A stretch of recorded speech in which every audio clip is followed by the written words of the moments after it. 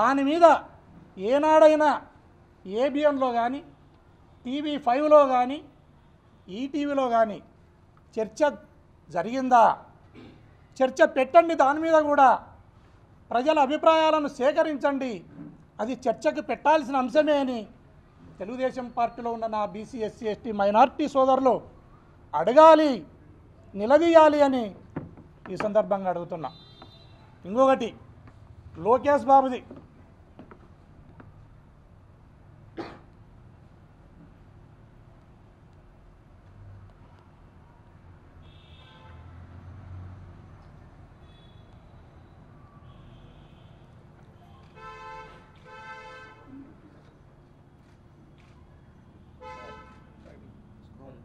ఏ రకంగా నిస్సిగ్గుగా లోకేష్ బాబు ఉన్నాడో దానిపైన కూడా చర్చ పెట్టండి అని తెలుగుదేశం పార్టీలో ఉన్నవారు కానీ లేదా నన్ను విమర్శిస్తున్న ఎవరైనా కూడా దీన్ని కూడా ఒకసారి ప్రస్తావించండి అని నేను అపీల్ చేస్తున్నా.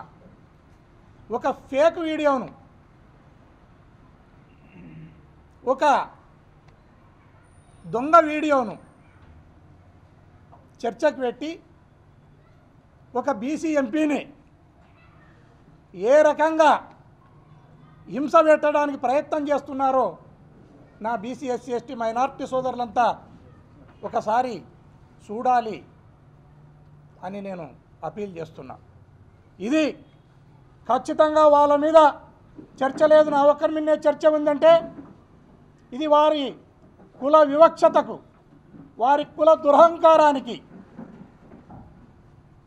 పరాకాష్ట ఇది అని నేను తెలియజేస్తున్నా. చంద్రబాబు నాయుడు గారు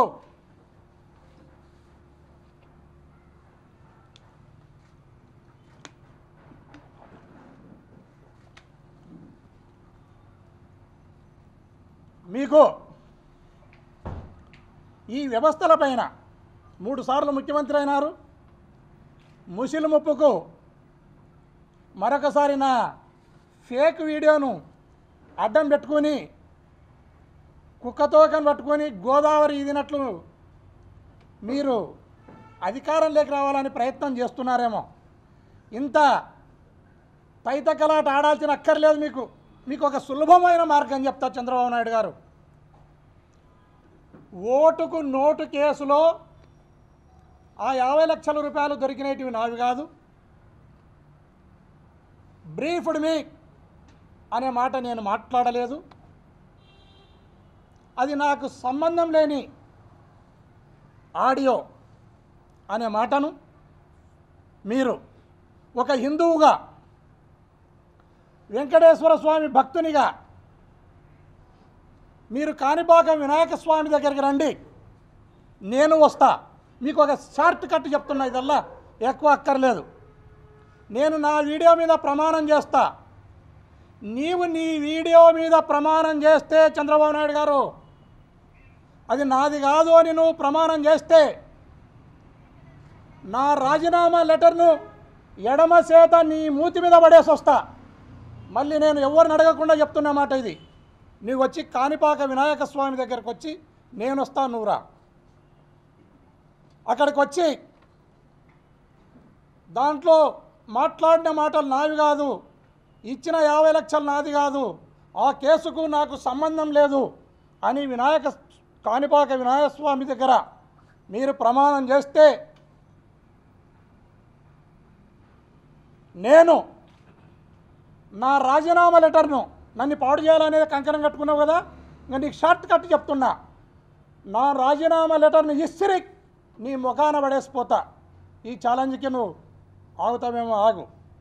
లేదా ఇది ఫేక్ వీడియోనే నా నేను బుద్ధి గడ్డి తిని దీనికి పాల్పన్నానని ముక్కు నేలకు రాయి. ఈ రాష్ట్రానికి క్షమాపణ చెప్పు. నిన్ను ఈ రాష్ట్రం క్షమిస్తుంది. దయచేసి నీవు ఇప్పుడైనా ఇలాంటి లుచ్చాప్ రాజకీయాలు దొంగ రాజకీయాలు దోపిడీ రాజకీయాలకు పులి స్టాప్ పెట్టి జయాపజయాలు దైవాధీనము జనాధీనము. నీ ఏబిఎన్ అధీనం కాదు. నీ టీవీ ఫైవ్ అధీనం కాదు. నీ ఈటీవీ అధీనం కాదు అనేది నువ్వు గుర్తుపెట్టుకో. ఇట్లా దోపిడితో నువ్వు గెలవాలనే ప్రయత్నం మానుకొని ప్రజాక్షేత్రంలోకి రా. ప్రజాక్షేత్రంలోకి వచ్చి పోరాడితే గెలుపు ఓటములు దైవాధీనము జనాధీనం వాళ్ళు తేల్చేస్తారు. దేవుడు తేల్చేస్తాడు ప్రజలు తేల్చేస్తారు. నీ టీవీలు నీ పేపర్లు తేల్చలేవనేది మీరు గుర్తుపెట్టుకోవాలి. మీరు ఈరోజు ఏదైతే దొంగ సర్టిఫికేట్ తీసుకుని రావటం జరిగిందో దాన్ని ప్రపంచానికల్లా నిజం నిజమని నమ్మేయడానికి ప్రయత్నం చేసినారో చంద్రబాబు నాయుడు గారు ఈ సందర్భంగా మీకు ఒకటి చెప్తున్నా. ఫేక్ వీడియోను జనం లేక వదిలి వదిలి కొంచెంసేపు అట్టహాసంగా విజయ దరహాసంతో నవ్వుకుంటివి. కొద్దిగా సేపు ఆ సర్టిఫికేట్ దొంగ సర్టిఫికేట్ని తెచ్చి ప్రజల్లోకి వదిలి నువ్వు ఏదో సాధించినాను అని గెలిచినాను అని ఉబలాట పడిపోతివి జనాన్ని నమ్మేయడానికి ప్రయత్నం చేస్తేవి. ఈ సందర్భంగా ఒకటే చెప్తున్నా. అధర్మం మనం భారతాన్ని తీసుకుంటే దుర్యోధనుడు కూడా మొట్టమొదట గెలిచినాడు. లాస్ట్కు ధర్మం గెలిచింది పాండవులు గెలిచినారు. లాస్ట్కు నేనే గెలిచేది. చంద్రబాబు నాయుడు నువ్వు గుర్తుపెట్టుకో. రామాయణాన్ని తీసుకుంటే మొదట రావణాసురుడు కూడా గెలిచినాడు నీలాగానే. మొదట మొట్టమొదట ఫైనల్ విజేత రాముడు. దాన్ని మీరు మైండ్లో పెట్టుకోండి. లాస్ట్కు ధర్మం గెలుస్తుంది న్యాయం గెలుస్తుంది నీతి గెలుస్తుంది నిజాయితీ గెలుస్తుంది అనే దానికి ఒక ఉదాహరణ చెప్తున్న చంద్రబాబు నాయుడు గారు. మీరు తాత్కాలికంగా ఫేక్ వీడియోలను దొంగ సర్టిఫికెట్లను తెచ్చి గెలిచినాననుకుంటారేమో ఫైనల్గా చట్టం గెలుస్తుంది. ఫైనల్గా విజేతను నేనే నువ్వు మైండ్లో పెట్టుకో చంద్రబాబు నాయుడు గారు.